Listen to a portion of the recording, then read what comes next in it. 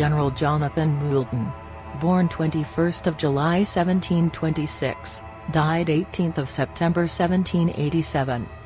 Jonathan Moulton started as an apprentice to a cabinet maker, but in 1745 he left, and started his career in the New England Army. He fought in the King George War, and the French and Indian War. He married in 1749, and sired 11 children. He became one of the wealthiest men in New Hampshire, and this led to later tales of his deal with the devil. In 1769 the mansion he built in a poor Puritan town burned to the ground. Popular belief at the time was that Moulton had a pact with the devil, wherein he would fill Moulton's boots to the brim with gold once a month in return for his soul. It was said that Moulton thought up a clever ploy, and placed his boots with the soles cut off over a large hole in the ground.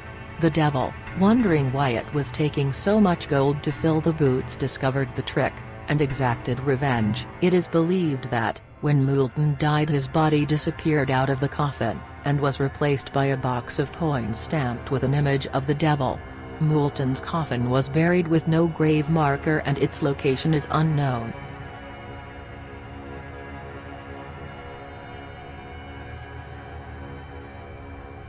Gilles de Rais, born 1404 died 1440. Gilles de Rais was considered intelligent, courageous, and very attractive with a bluish-black beard. Born to one of the most distinguished families in Brittany, he came into his own when his father died in Gilles' 20th year. He found himself with untold wealth and power which eventually led to his downfall.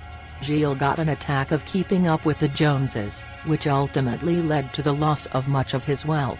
In desperation he began to experiment with the occult, under the direction of a man, named Francesco Prelati, who promised that, Gilles could help him regain his squandered fortune, by sacrificing children to a demon called Barron. Over the course of his killing spree, Gilles raped, tortured, and murdered between 80 and 200 children.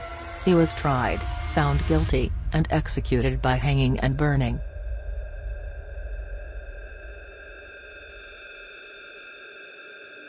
Giuseppe Tartini, born 8 of April 1692, died February 26, 1770. Tartini was an Italian composer and violinist. He was one of the most instrumental musical composers having written over 400 works. Unlike most of his contemporaries he wrote no church music or operas, he focused most of his work on violin concerti and sonatas. His most infamous piece is called The Devil's Trill Sonata.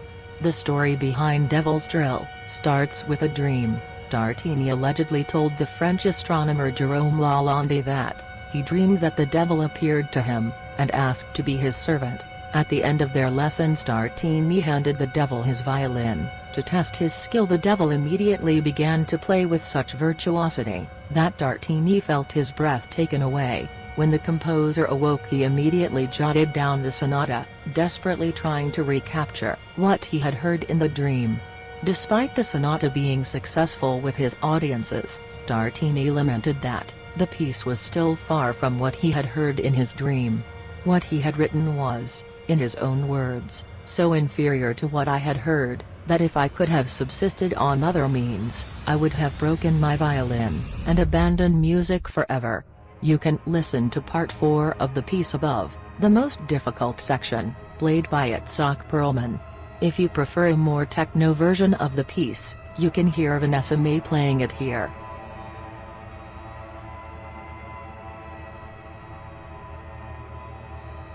Johann Georg Faust, born circa 1480, and died circa 1540.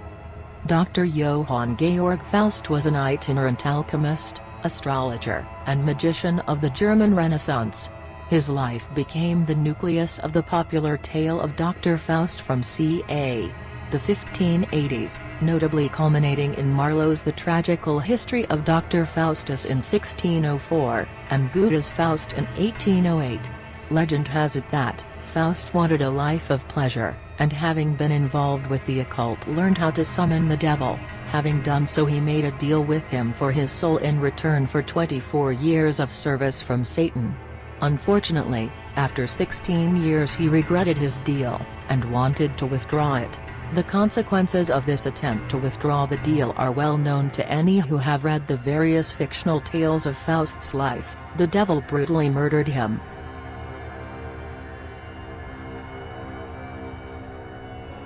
Niccolo Paganini born October 27, 1782, and died May 27, 1840. Niccolo Paganini is one of the greatest violin virtuosos to have ever lived. He learned to play the mandolin at 5, and was composing by 7. He started playing publicly at 12, but by 16 he had a breakdown, and disappeared into alcoholism. He sobered up and by 22 was the first music superstar. Paganini was capable of playing three octaves across four strings in a handspan, a feat that is nearly impossible even by today's standards. He composed 24 caprices at 23, and for years no other violinist was capable of playing much of his music. His playing of tender passages is said to have brought audiences to tears. One of his famous pieces was called Le Streghe, which translates to Witch's Dance. Audiences believed Paganini made a pact with the devil to perform supernatural displays of technique. Some patrons even claimed to see the devil helping him, during his performances. It is because he was denied the last rites in the church, and his widely rumored association with the devil, that his body was denied a Catholic burial in Genoa.